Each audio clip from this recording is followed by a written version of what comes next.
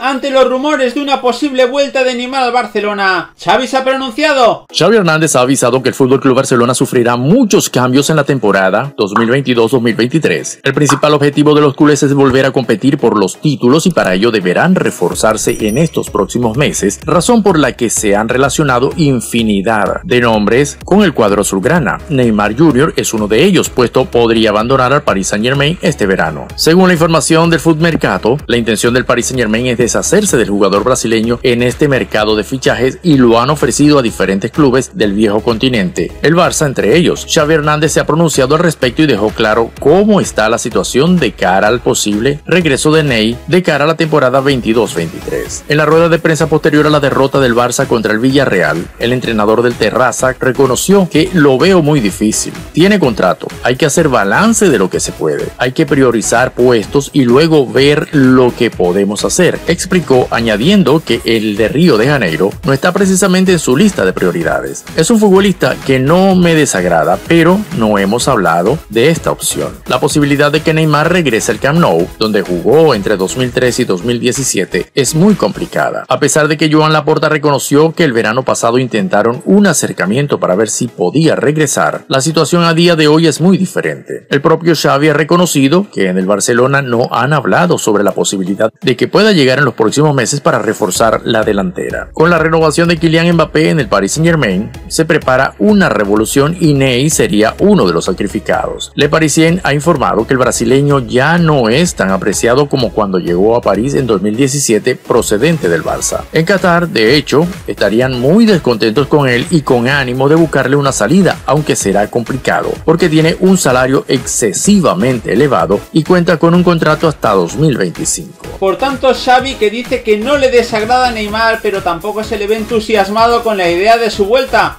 Vamos ahora a hablar de Dembélé y qué ha habido detrás de sus últimas dos suplencias en la liga. Para algunos no había razón alguna para que Ousmane Dembélé fuese suplente en los dos últimos partidos de la temporada. Aunque el Barcelona no se jugaba demasiado, mucho le echaron de menos en dos encuentros en los que los azulgrana solo sacaron un punto y no vieron puerta. Pero según Mundo Deportivo, Xavi Hernández sí que tenía motivos para ello. 1,5 millones para ser exactos. La citada fuente asegura que el club se ha ahorrado esa cantidad en las decisiones del entrenador culé con el extremo francés. En el contrato que sigue concluyendo el 30 de junio, de Dembélé con el Barcelona, aparece una cláusula a modo de premio para el jugador. Este percibirá 1,5 millones de euros tras disputar su partido número 150 con la entidad del Camp Nou. Para que se compute un encuentro como tal en el acuerdo, el francés debía jugar al menos una parte. Ante los azulones, calentó durante la segunda parte, pero no saltó a césped. El punto necesario para amarrar la segunda plaza nunca peligró y Xavi le dejó en el banquillo los 90 minutos. En el cierre de temporada en el Camp Nou, ante el Villarreal aún había menos en juego para unos locales